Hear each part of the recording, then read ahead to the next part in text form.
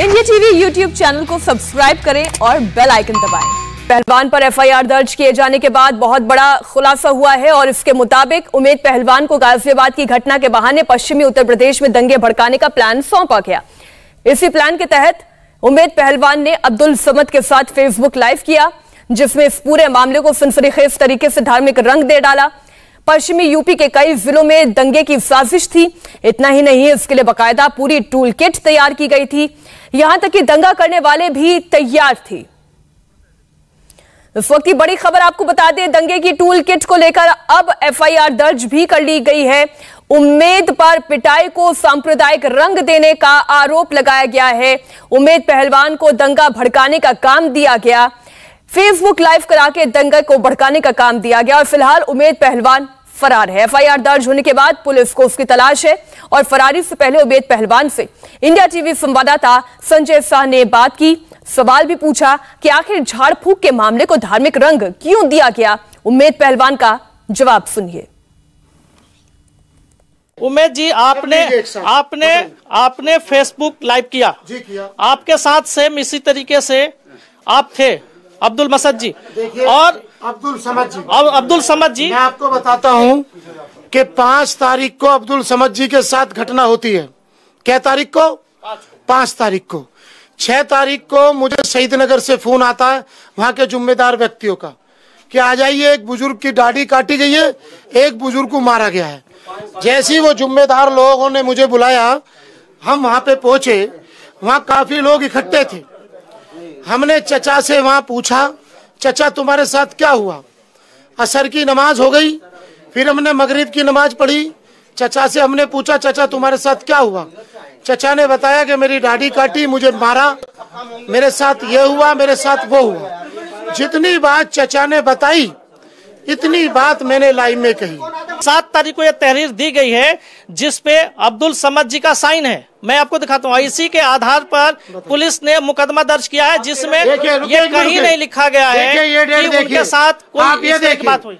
ये छह तारीख की तहरीर है। इस पे अमूल अब्दुल समद साहब के साइन है। मेरे मोबाइल का फ़ोटो देखिए मैंने क्या तारीख को खींचा है। और ये मैच देखिए कि थाने की मेज है नहीं है। और छह तारीख की आप फुटेज निकालिए थाने की। कई घंटे हम लोग थाने पे खड़े रहे। जब हमारी नहीं सुनेगी तो सात तारीख को बड़े मियाँ और शहीद नगर कुछ लोग मेरे ऑफ़िस आते हैं। मुझसे बात करते हैं कि हमारे साथ जुल्म हुआ, हमारी तहरीर नहीं लिखी गई। दो दिन जब पुलिस ने हमारा मुकदमा नहीं लिखा तो हमें फेसबुक लाइव आना पड़ा मजबूर। आखिर फेसबुक लाइव आने के बाद सात तारीख को पुलिस सक्रिय क्यों हो जाती है? इससे पहले अब्दुल सुमद का एक नया वीडियो सामने आया। ये वीडियो मारपीट की घटना से ठीक पहले का है, जिसमें सुमद कहते हुए दिख रहे हैं कि उन्होंने किसी तीसरे शख्स के कहने पर परवेश गुर्जर को वश में करने वाला तावीज दिया था। अब्दुल समद वीडियो में यह भी कह रहे हैं कि इंतज़ार नाम के एक शख्स ने कहा था कि परवेश को वश में करना है, इसलिए उसे तावीज दो, जादू टोना करो। जो दोबारा आया था तू करने? हाँ, हाँ। किसने कराया था? इंतज़ार ने। इंतज़ार ने। कह के भेजे कह के भेजा के जिन्हें मेरे बस में कर दो। हाँ मेरे घर के ने जो तमीज बवीज सब दे के गए हो? अच्छा हाँ बस। ये सब हाँ। इंतज़ार के कहने से क्या? इंतज़ार के कहने के हाँ। ये झूठ तो बोल के गया ना तू ये कर दो वो कर दो मतलब भूत थारे भूत थारे के परे थे झूठ रहे थे नहीं ये? हाँ, हाँ। इंतज़ार ने क्या भेजा था इंतज़ार ने कहा कि ये मेरे सारे मेरे फेवर में आ जाना चाहिए। बस हाँ इनसे मेरा काम है। हैं? इनसे मेरा काम है। इनसे मेरा काम है। हाँ। ये क्या भेजा इंतज़ार ने? बस बस। इस केस में जिस बुज़ुर्ग अब्दुल समद की पिटाई हुई है, उनका एक नया वीडियो आपने देखा, जिसमें उन्होंने किसी इंतज़ार नाम के शख्स के कहने पर प्रवेश गुर्जर के घर जादू टोना करने की बात को कबूल किया। 5 जून 2021 यानी मारपीट वाले दिन, इंतज़ार के कहने पर सद्दाम नाम का शख्स अब्दुल समद को प्रवेश गुर्जर के घर ले गया था अब सद्दाम की सफ़ाई भी सामने आई है। इन सबके बीच समाजवादी पार्टी के लोकल नेता उमेद पहलवान की साजिश भी बेपर्दा हो गई है। मुफीद आलम नाम के एक सोशल वर्कर ने एसपी नेता की साजिश को बेनकाब किया। इस वायरल साजिश के चार अहम किरदार हैं और पहला किरदार है अब्दुल समद, जिसकी पिटाई हुई। दूसरा है प्रवेश गुर्जर, जिस पर पिटाई करने का आरोप है। तीसरा है इंतज़ार, जिसके कहने पर अब्दुल समद ने प्रवेश गुर्जर के घर जादू टोना टोटका किया। और चौथा है उमेद पहलवान, जिसने मारपीट और आपसी रंजिश के केस को सांप्रदायिक रंग देने की कोशिश की। इस केस में प्रवेश गुर्जर कल्लू और आदिल की गिरफ्तारी हो चुकी है और अब गाजियाबाद पुलिस ने इंतज़ार को भी गिरफ़्तार कर लिया है। उसके साथ सद्दाम नाम का शख्स भी पकड़ा गया है। सद्दाम ही वो चेहरा है, वो शख्स है जो इंतज़ार के कहने पर बुज़ुर्ग अब्दुल समद को प्रवेश गुर्जर के घर ले गया था। आपको सद्दाम का कबूलनामा भी सुनाते हैं। तो सोफी जी, पाँच तारीख को आए। पाँच तारीख के बाद आए तो वो इम्तियार भाई के पास आए थे। इम्तियार भाई बोले, मुझसे इनको लेके बंथरा चला गया परवेश के यहाँ पर। मैं चला गया। परवेश का फ़ोन आता रास्ते में। तो परवेश बोला, कहाँ पर? मैं बोला, रास्ते में। उन्होंने आ गया पाँच मिनट में। ठीक है, आ जा। तो वहाँ गया सर तो मैं सूफी को लेके पहुँच गया। तो वहाँ पर किसी ने, परवेश ने फ़ोन करा आदिल को। आदिल के साथ तीन चार लड़के आए। तो और तो फिर इंतज़ार भाई के पास फ़ोन करा परवेश ने। उन्होंने ऐसे ऐसे सूफी जी ऐसे ऐसे कह रहे हैं तेने सु इंतज़ार ने करवाया है तेरे ऊपर अपना घर बस कर बस करवाने के ऊपर। कहा, इसके घर को मेरे ऊपर करवा दो। ठीक है? तो सर इनमें फिर इंतज़ार को बुलाया वहाँ पर। तो सूफी वहाँ पर नाट गया सूफी वहाँ पर।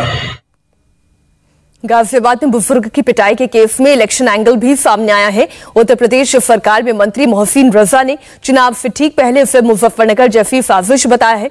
इस पर समाजवादी पार्टी ने पलटवार करते हुए कहा कि उत्तर प्रदेश में जंगल राज जैसे हालात हैं। लोनी प्रकरण में साफ़ तौर पे धार्मिक उन्माद कौन फैला रहा है, कौन सांप्रदायिक सौहार्द खराब करना चाहता है, ये साफ़ हो गया है उम्मेद पहलवान के उस फेसबुक लाइव से, क्योंकि वो समाजवादी पार्टी का सदस्य है और समाजवादी पार्टी के मुखिया अखिलेश यादव जी के साथ में उसकी बाकायदा तस्वीर है, जिसमें वो गमछा डाले हैं समाजवादी पार्टी का और तमाम उसके फेसबुक पर भी देखा जा सकता है। तो ये एक बहुत बड़ी साजिश का हिस्सा नज़र आ रहा है।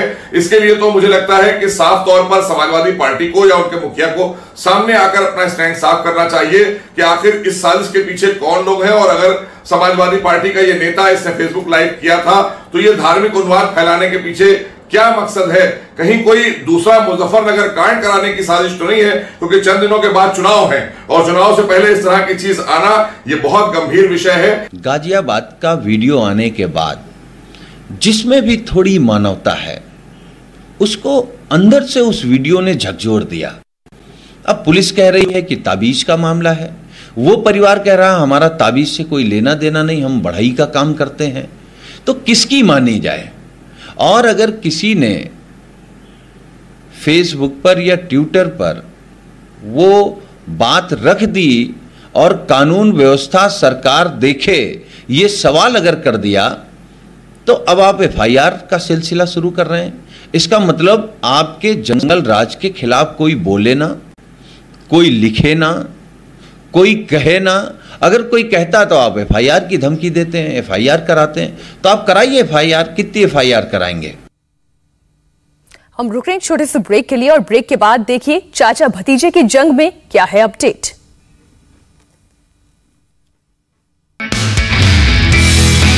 नमस्ते, मैं हूँ मीनाक्षी जोशी। वीडियो और खबरों से अपडेट रहने के लिए India TV YouTube channel subscribe करें। बेल आइकन दबाना ना भूलें। जुड़े रहें इंडिया टीवी के साथ।